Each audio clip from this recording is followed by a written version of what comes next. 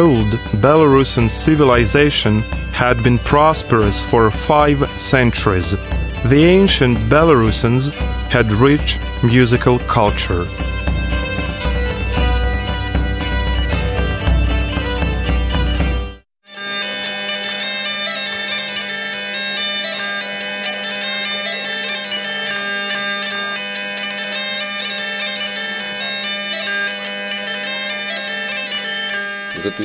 This instrument has added its vivid page to Belarusian traditional culture to such a degree that Belarus is equal in this respect to Scotland.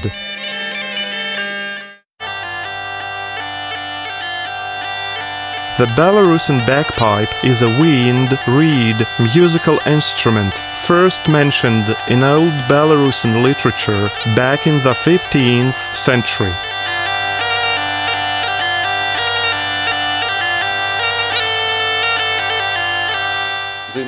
Uh, Researching the history of the bagpipe in Belarus, that is, mythology of this instrument and its place in the ritual and sacral practice, I've come to the conclusion that this instrument had never arrived here from anywhere. The bagpipe had been taking shape on this land from the earliest times. According to the Belarusian ethnic tradition, the bagpipe is born during a ritual at Christmas.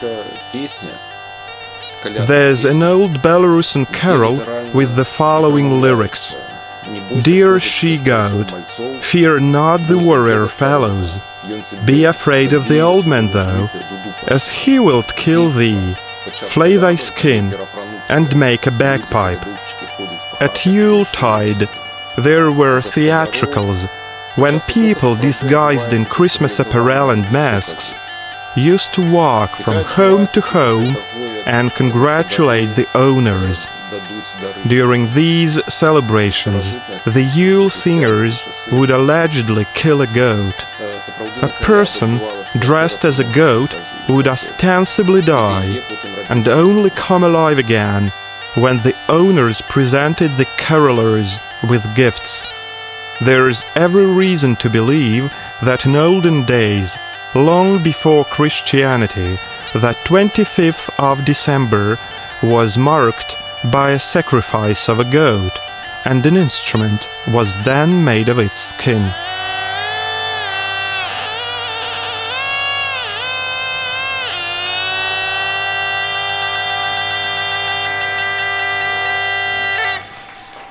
The bagpipe is a symbol of harmony of the world and pacification of gods.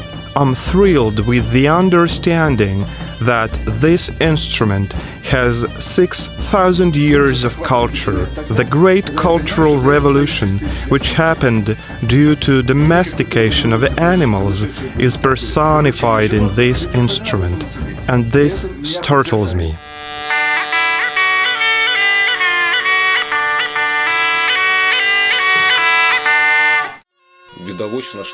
Apparently, there were families who preserved the traditions of this instrument. The pipe's funnels were usually kept in a bagpiper's family and inherited by a son. When a bagpipe's life was over, the son had to make a bagpipe himself, using his father's funnels. That was such a family tradition. It's also possible to say that a bagpipe was only played for one year, and every time at Christmas a new instrument was made. Then the bagpipe was hung on an oak tree or shattered against it. Thus, the bagpipe was used for a year, and then a new instrument was made. In distinction from the Scottish or Galician ones, the genius of the Belarusian bagpipe is that it used to be more connected with cultic practice. The bagpipe was a very important fact in the pre Christian outlook on the organization of the world. The bagpiper and his bagpipe were thought to be a juncture of various elements. The bagpiper would epitomize Piarun, the god of thunder and lightning, The bagpipe used to be an embodiment of Viales, the god of animals and an antagonist of Piarun. Altogether, the bagpiper and his bagpipe would react upon each other and create a sacred alliance.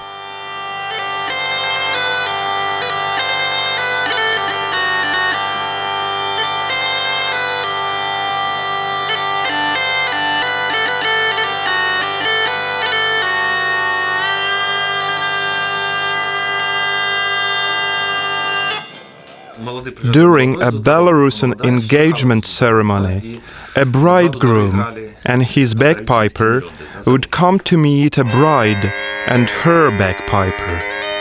The betrothed pair could not talk during the ceremony. Instead of them, their bagpipers would do it by playing their complementary tunes.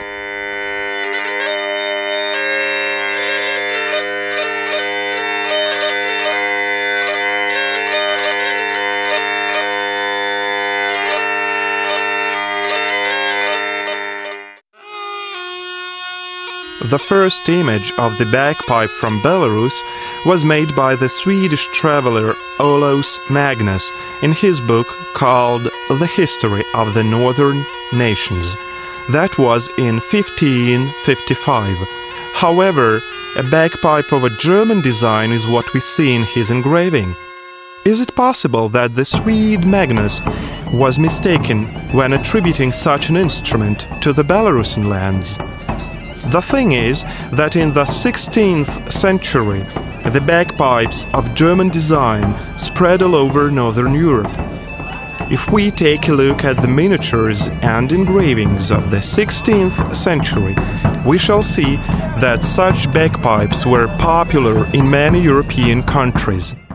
As it happens, there was a nobleman from the city of Vilna whose name was Maciej Hierdroic who helped Magnus in preparing his book. Furthermore, a historian from Stockholm, Andrei Kotlarchuk, thinks that Hierdroic did picture a bagpiper from his homeland. Magnus wrote under his engraving, The bagpiper's music is so alluring that bears get out of the woods. We carried out an experiment. We made a bagpipe of the same design, dressed a bagpiper in that period's style, and brought a live bear.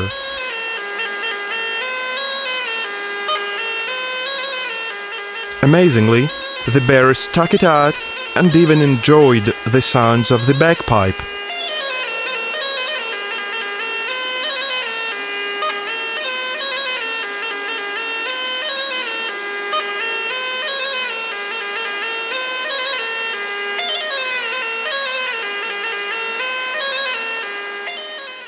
The oldest Belarusian bagpipe is now kept in the regional museum of the town of Lepiel. If we are talking about the uniqueness of this instrument, then it is in its aesthetics. The bagpipe has the most beautiful patterns and lines. It's distinguished by its garniture and tin marquetry. Let's listen to the sound of the bagpipe playing in the so-called closed manner.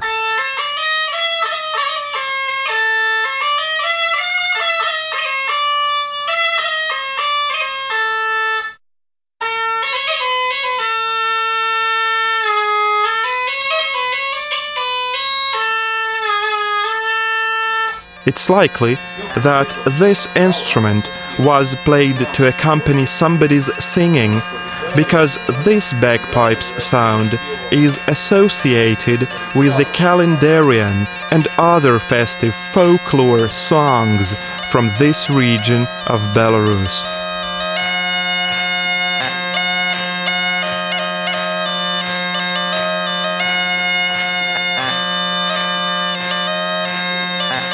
That was an instrument without which the musician himself could not live spiritually.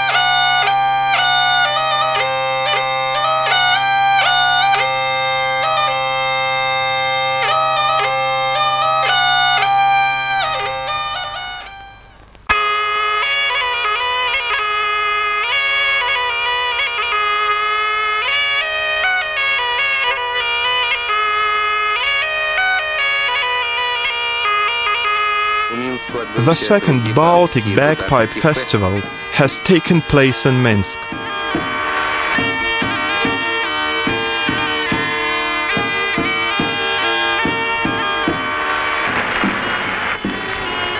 Musicians from Lithuania, Sweden, Scotland, and Belarus have demonstrated their masterhood in playing the ancient instrument bagpipe.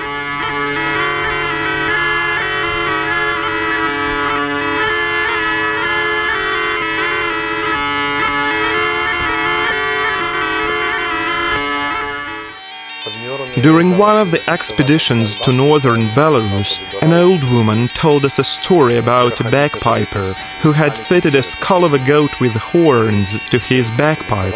A melody pipe poked out of the skull. This instrument looked quite peculiar.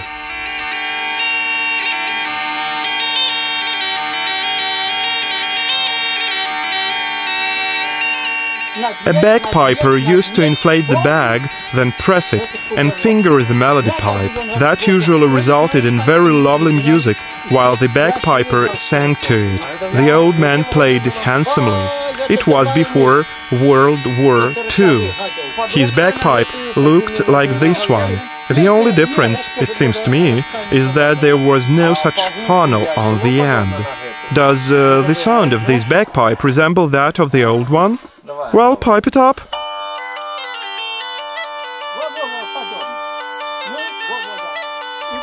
It does resemble, and the drone did sound the same. That old bagpipe did have a similar voice too. Twas back in the 1930s. That bagpiper's instrument looked like yours. He had a wooden melody pipe. Under his elbow there was the bag, and he used to press it and play it very beautifully. However, this big drone wasn't here, unlike yours, but here, on the front.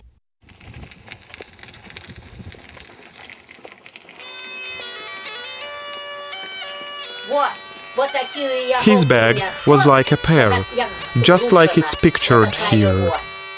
His bagpipe was exactly like this one presented here. He used to have the drone pipe this way, on his knees, and the bag in another way, like this.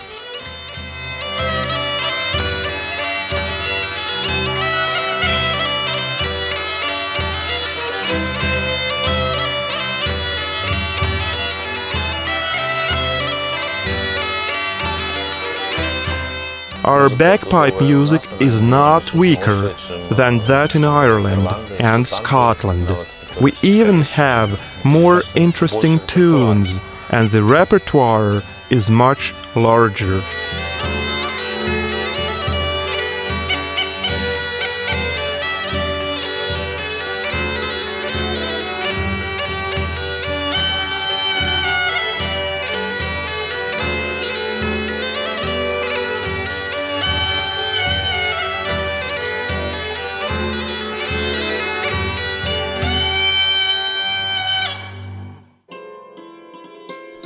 The dulcimer can relax you by enshrouding you in a fog. I could call it a female musical instrument.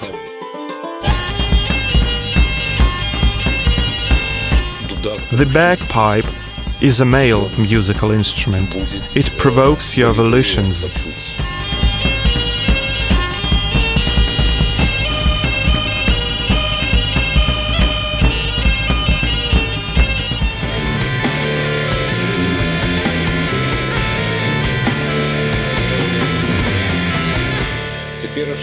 In modern times, it's getting more and more interesting because the bagpipe now is part of bands playing extremely various music, including medieval and post folklore. The Belarusian bagpipe can even be heard in rock groups.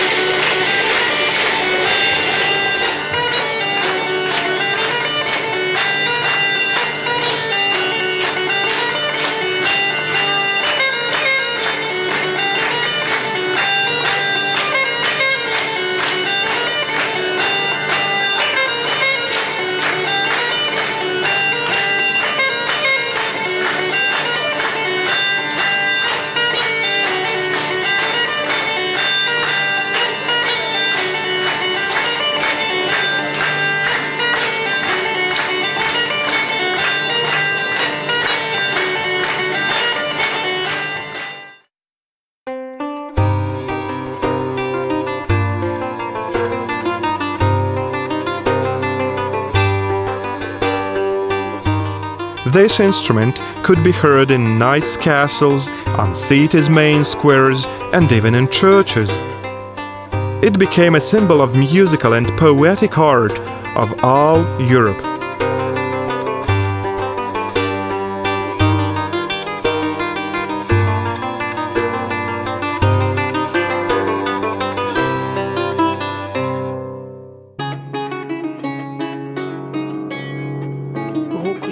The sound of the lute differs from all the other instrument sounds, taking into account that the sound is very quiet and the lute itself has no big dynamic and timbre possibilities. Its sound is extremely soft and pleasant. It mesmerizes the listener. It's very exciting to listen to what contemporary lutenists say about the lute. It was my good fortune to communicate with some of them. For instance, Brian Wright once said philosophically that the sounds of the guitar are directed outside, to the hall. Their target is the listener, while the sounds of the lute go straight inside the person who plays it. The lute is a stringed, plucked musical instrument, first mentioned on the Belarusian territory in the late 15th and early 16th century. It's very important that it was in the lute repertoire, both for organ and clavier, that we can see a similarity between Western European music and Belarusian music.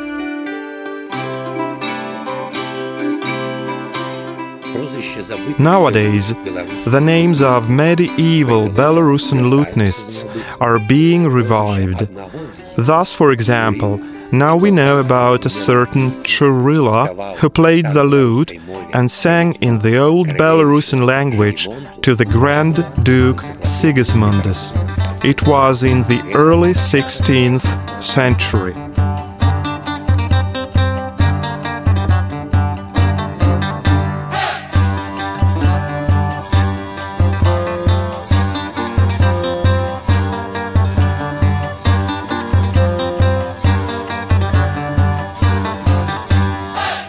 The lute accompanied people both in their campaigns and combat actions.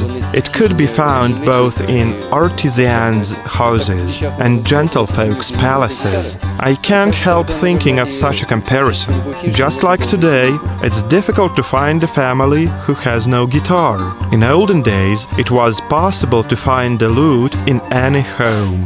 The professional use of the lute in Belarus began in the 16th century. Many historians think that this happened thanks to Bona Sforza, the wife of the Grand Duke Sigismundus. She was a patron of the arts and invited a lot of musicians from Europe in the early 16th century. Bona Sforza was a good lutenist herself. She was fond of traveling and preferred to be accompanied by the lute sounds during her journeys.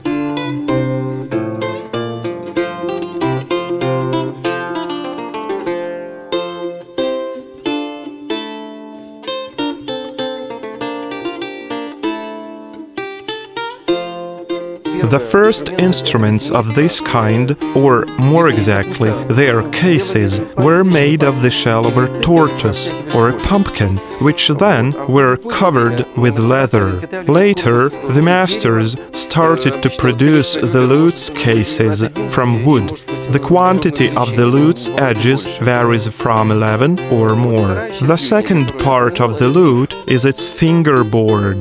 The work on the case is completed by gluing the most important detail, the neck. It's the main detail because the quality of the sound of the eventual instrument depends on the quality of wood and the manufacturing process. Unlike a later instrument, the guitar, the lute has a sound hole, also called a rose, which is in the form of a different coiling branches or other complex patterns. The presence of such a rose confirms an oriental origin of the lute. In the days of the Renaissance and Baroque periods, the lute played a key role for amateurs playing music. There is certain evidence of this.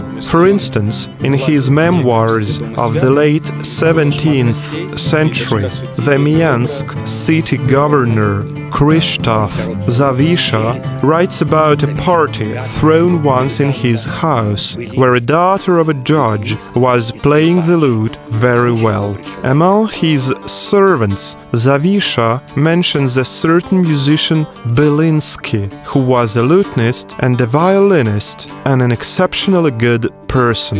The lute was considered to have a psychotherapeutic quality as well. It was believed that a person with a toothache could send for a lutenist whose music would help to ease the pain. If somebody suffered from insomnia, the lute was thought to settle this matter too. The lute music used to accompany meals, meetings, and dance parties.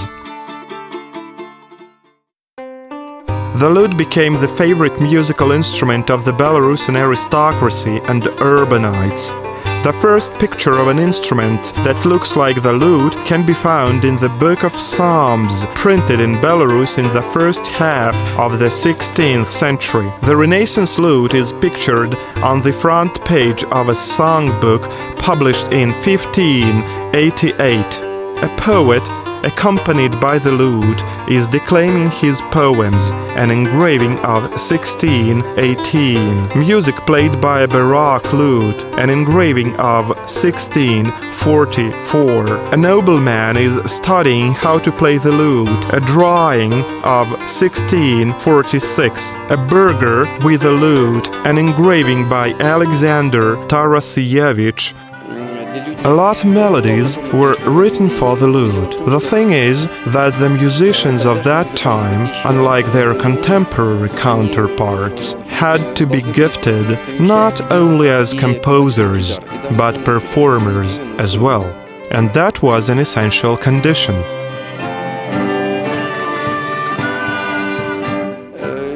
It was as easy for a guitarist to switch to the lute as it was for a lutenist to start playing the guitar. However, being a lutenist was considered more prestigious.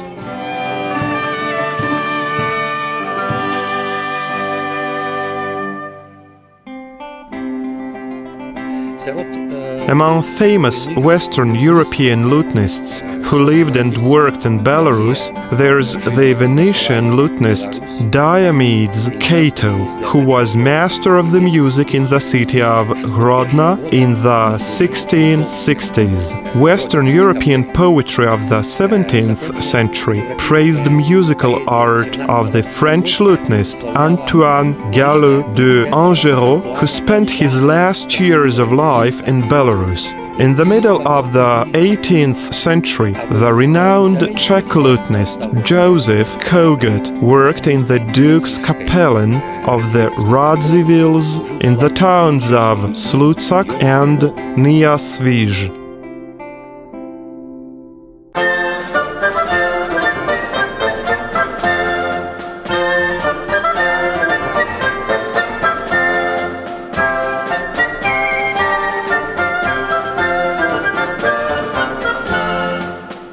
St. Petersburg, Moscow, Vilna, Frankfurt am Main, Brussels, as well as Warsaw, Krakow, and other cities of other Slavic countries.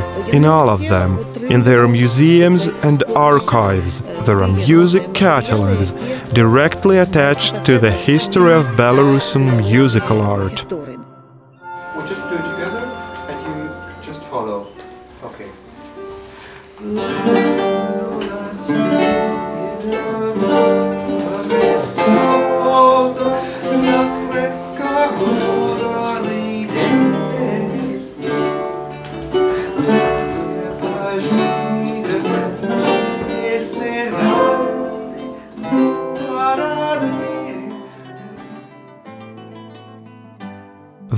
Is a polyphonic musical instrument which was generally used to accompany singing. Every time a monarch had visitors, his lutenist had to write a completely new piece of music for every occasion. For example, if one and the same person came yesterday and is coming today, yesterday's music could not be used anymore.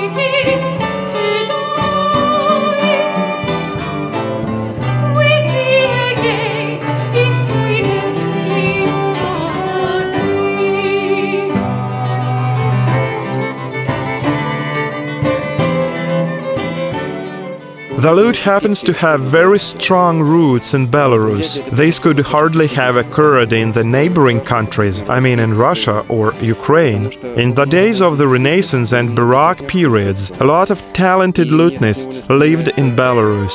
I can't help recalling the story of how, at the beginning of the USSR's existence, every Soviet republic was ordered to choose its one basic national musical instrument.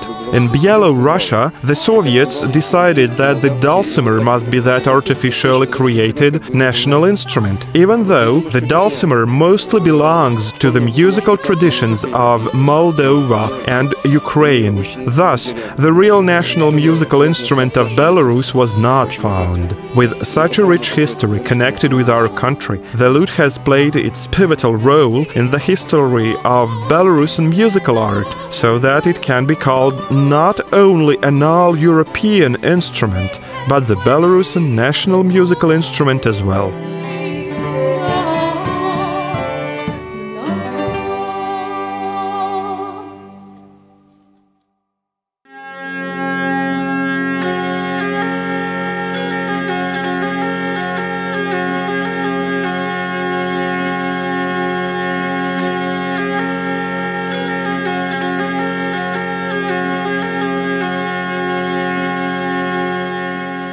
Hurdy-gurdy is a stringed, bowed musical instrument with a wheel as a bow. The hurdy-gurdy is first mentioned in Old Belarusian literature back in the early 17th century. The Belarusian hurdy-gurdy has a long evolution. The Belarusian hurdy-gurdy of a Gothic design, the hurdy-gurdy of a Renaissance design, the Belarusian Baroque hurdy-gurdy, the guitar-like hurdy-gurdy, the hurdy-gurdy from the town of Slutsk. In Western Europe, the hurdy-gurdy tradition is still alive. However, it's mostly dance music that is still played with the help of this instrument there. The particularity of Belarus was that our hurdy-gurdy players were esteemed men who originally belonged to that segment of the pre-Christian priesthood whose role was to travel. The hurdy-gurdy players were itinerant. They used to cover much ground and visit sacred places. Mąż na koniu jest dzielny, czysteków brojony.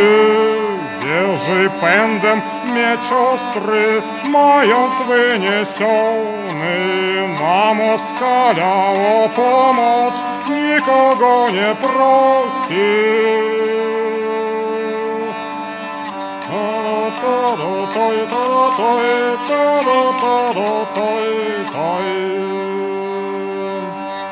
Sam go zawsze dopadnie, ledwie tak lotnego. Faeton na oblakach pędzi konia swego. Ustępuj ty Niemcze i możny Turczynie, póki się was pogoni, który nie nawinie.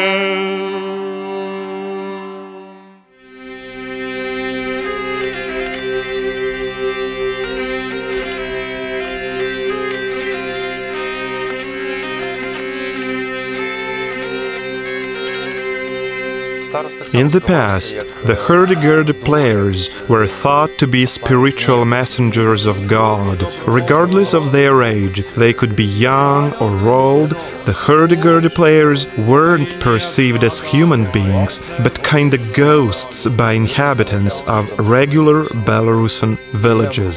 There was a certain ritual. The mission of a hurdy-gurdy player was to visit all the houses in a village and to pray for the deceased in a family.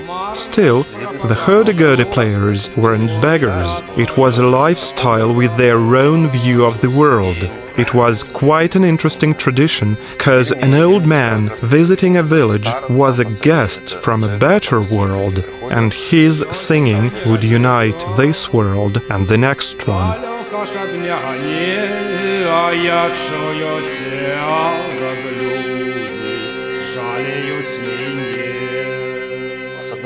On the one hand, the hurdy-gurdy was used for sacred singing to honor the Christian saints. On the other hand, this instrument had fallen into its place in the traditional life of common people.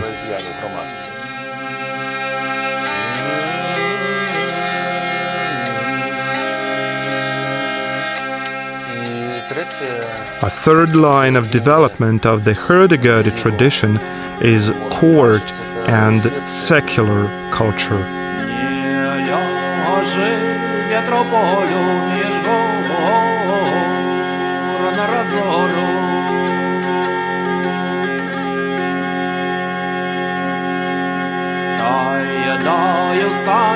помаленьку, и завей потихеньку.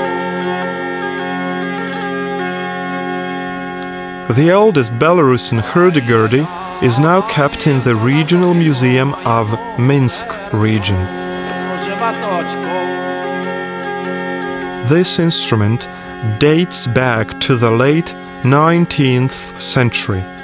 In terms of the tuning pins, there were four strings. One was here, another one right here, as there are two string holders, and the other two strings would go to the keyboard box. The interesting fact is that the strings which would go from the keys to the wheel were separated by a barrier.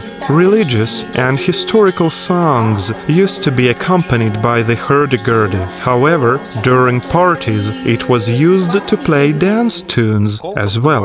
In order to perform a dance melody with the help of the hurdy-gurdy, it was necessary to move the wheel in jerks, thus producing a sound every time a key was pressed.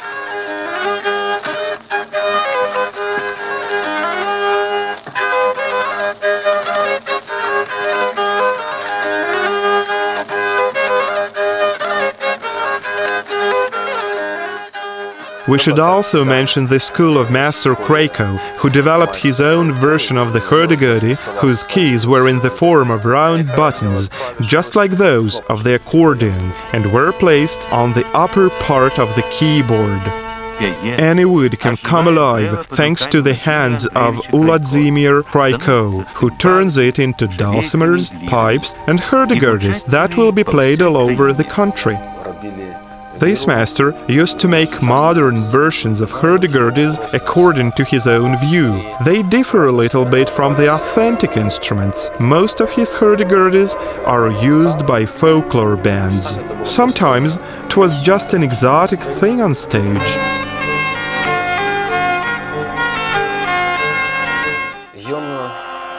Master Krayko's ideas were continued by his student Uladzimir Puzinia. I'm fascinated with folklore music and in ancient singing. I'm grateful to my teachers as they sparked a fire in my soul. I began to feel the honor of being a Belarusian. They inspired me for the rest of my life with a desire to work in this field. The first among our well known musicians who became interested in this instrument and who introduced it to a wide audience was the Pesniari band. They had a hurdy-gurdy of a baroque design. I don't know who made their instrument. Well, if you watch their first performances, you can see that their hurdy-gurdy was used actively.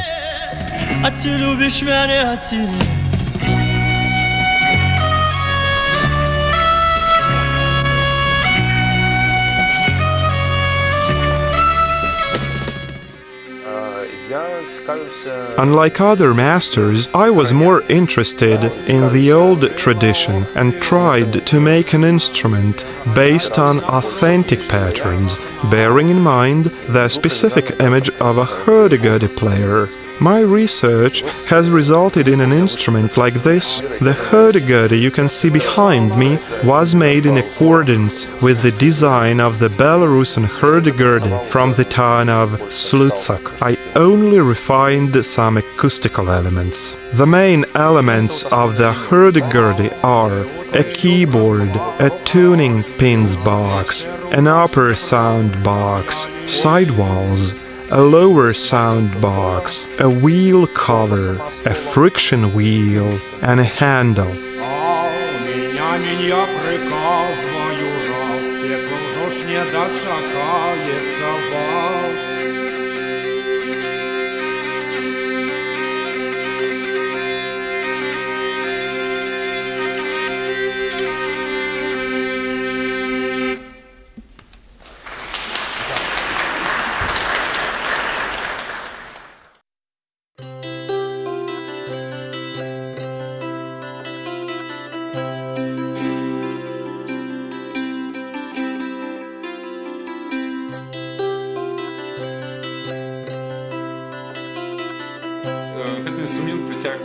This instrument attracts the attention of everybody who's not indifferent to our history and the way our ancestors used to live.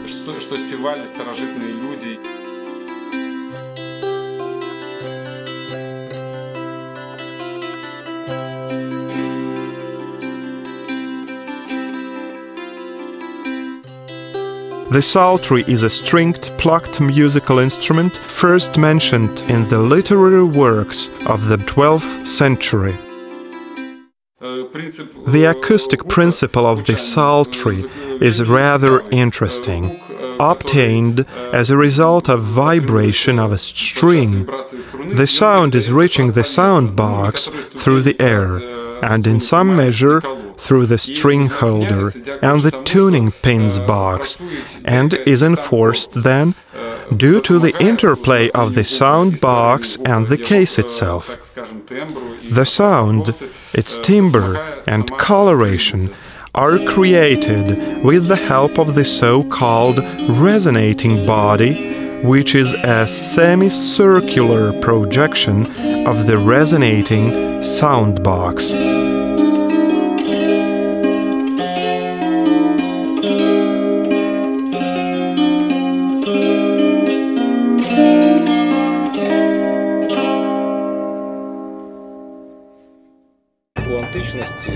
The ancient world, there was a status division of the musical instruments. The wind instruments were used during ecstatic rituals honoring the god Dionysus, and their task was to reach an altered state of consciousness. The stringed instruments, in their turn, were connected with the god Apollo. It was an aristocratic tradition. Music of the stringed instruments would provide a person with calm, balanced, and noble feelings. A reflection of a similar division can be found in Belarusian folklore songs, like in this Belarusian wedding song. When the bagpipe started howling, everybody went berserk. But when the psaltery began, everyone was sane again.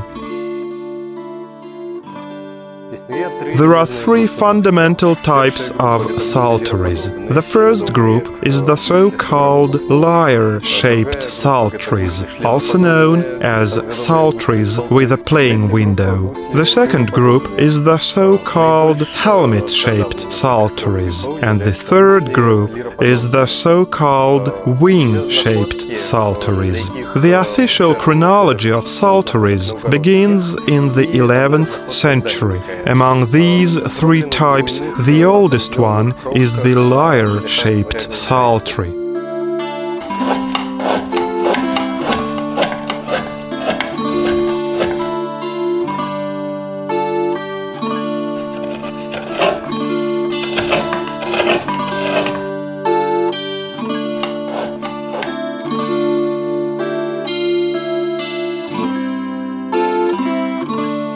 The main feature of the lyre-shaped psalteries is that they have a window in their case, while the other types of psalteries don't. Also, psalteries with a playing window must be held upright, just like a lyre or a harp, unlike the other kinds. The tradition of the lyre-shaped psalteries had been developing in Eastern Europe under the Scandinavian influence. But in the 13th century, psalteries with a playing window relinquished their place to psalteries of another design from the Christian Byzantine Empire, whose design was more helmet-shaped.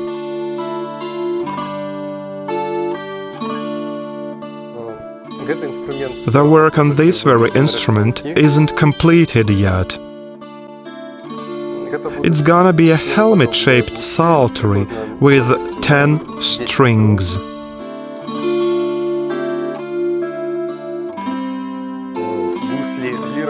When the lyre-shaped psalteries disappeared in Eastern Europe, their place was occupied not only by the helmet-shaped psalteries, but the wing-shaped ones as well.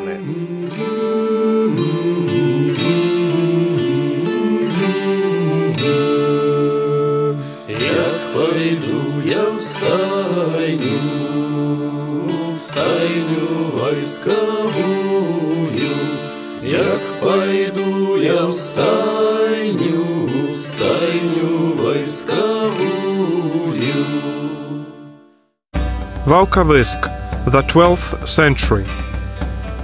Warsh Gospel, the 14th century. Radziwill Chronicle, the 15th century. Vilnia Art School, the 16th century. Vitebsk Gubernia, 1902. Psaltery from ethnographer Privalo's book, 1927. Psaltery player from ethnographer Privalo's book. One of my favorite variants of this instrument is the wing-shaped psaltery, which existed in Latvia and northern Belarus. Young men used to make this musical instrument so that they could play it handsomely, thus attracting young ladies. This tradition is described in wedding songs, legends, fairy tales, and even in historical documents of the 12th century. I was fortunate to get acquainted with my then future wife when I was playing the psaltery too.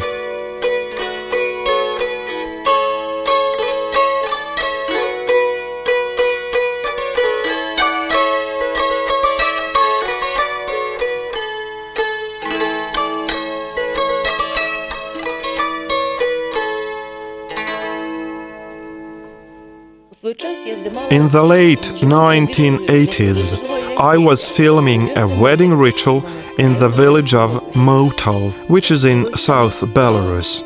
There was such a moment during the wedding when a sister of the fiancé was strewing some rye on the newlyweds, while other women were singing a song which had the following lyrics I'm standing over the river and I'm playing the kistanki. I asked some women from that village what the word kistanki meant. They told me that this musical instrument was a usual thing for them and that any old man in their village could make it. Usually, it was made of an elk's shoulder stringed with sinews. The lad who played that instrument was born in 1916. He kept playing it till the Second World War. After that, it was my dad who played it. I bet you seem to be playing just like my father.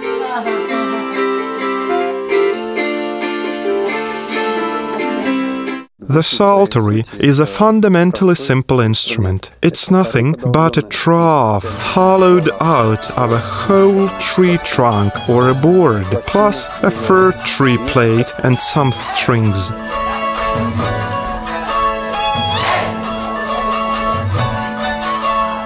When I start making a psaltery, I just take a piece of well dried wood whose form is close to that of the psaltery, and when I feel that this piece already sounds in my hands, that there is some acoustics in this wood, then I try to give it this or that form and to draw a renaissance, so to say, from this piece of wood.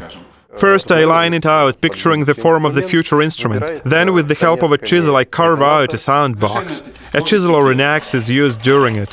When an instrument has its preliminary form, I attach a sounding plate in our studio. We try different kinds of glue, preferring those which correspond to the old technologies, such as fish glue and various types of joiner's glue. When the sockets are done and the sounding plate is attached, the whole instrument must be polished and oiled. This very case is reproofed with wax and gallipot that will prevent the instrument from changing its acoustics in any atmospheric conditions. However, a psaltery can't start sounding right away. I ain't sure about other masters, but I can't understand the sound of an instrument at the beginning. Maybe it's because I'm used to these sounds. Or maybe a psaltery has to be filled with positive vibrations first. Only after have I played it a week or two am I able to say whether its sound is good or bad.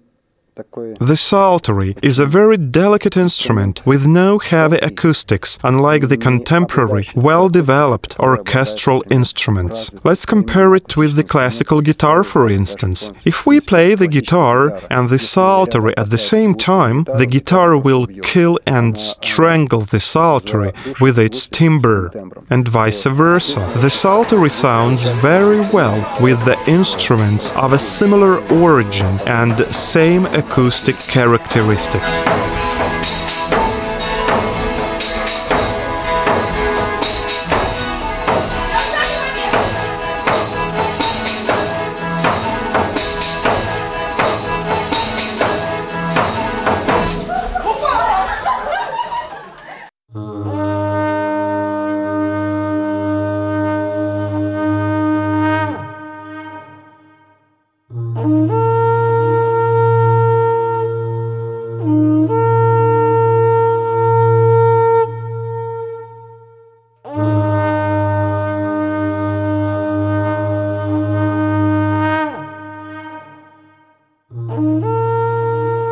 Belarusian trumpet is a wind mouthpiece musical instrument, first pictures of which can be found in Belarusian documents of the 13th century. Alongside with straight trumpets, there were curved ones too. Sometimes they were covered with birch bark. If we take a look at the Radziwill Chronicle of the 15th century, we shall find the Belarusian trumpet pictured as the main martial alerting instrument. Based on the miniatures of this chronicle, we can say that our trumpet was mostly used during warfare everyday life of the medieval knights in the times of war can't be imagined without this instrument.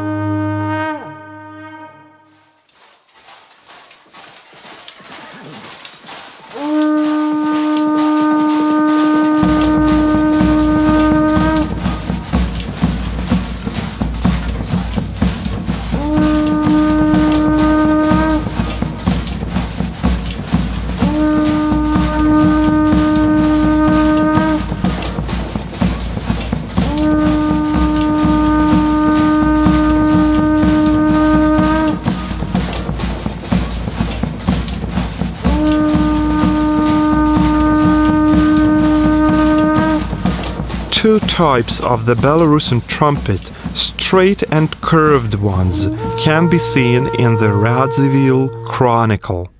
This Belarusian trumpet is characterized by a bigger curve and thinner sides.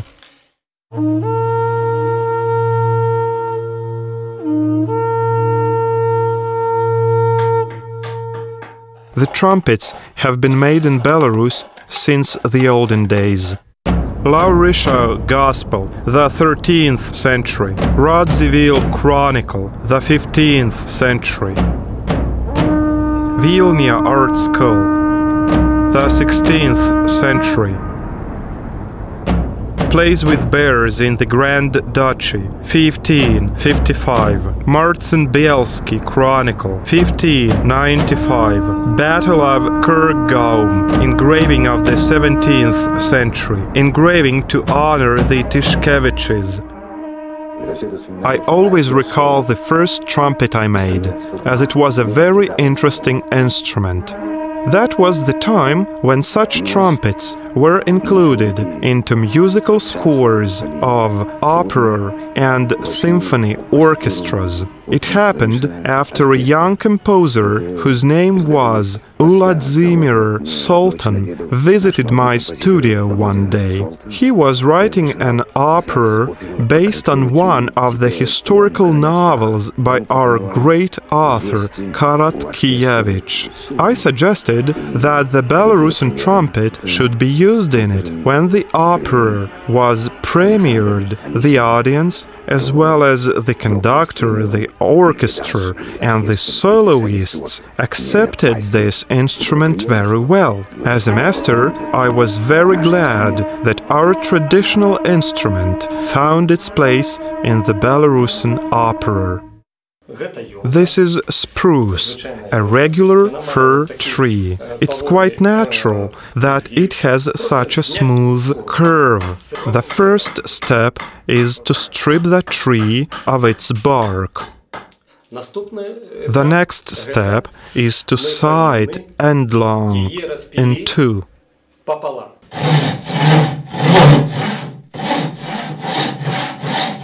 After that, it's necessary to carve out the inner contents of these two parts. That must be done very fast, because the wood is raw and may warp. Then we treat them with glue, fold them, and fix them. The trumpet was widespread among common people in South Belarus, mostly in the region of Polessie. The Belarusian peasants used to make very long trumpets, whose length could be one and a half or even two meters. It was pictured in 1927 by our ethnographer Privalo. When the trumpet is glued and its parts are fixed, we come to the last step in the work on it. It's extremely important to color it a bit by natural dyes, then to saturate it with wax, linseed, oil, and gallipot. The work is completed when a wooden embouchure is attached.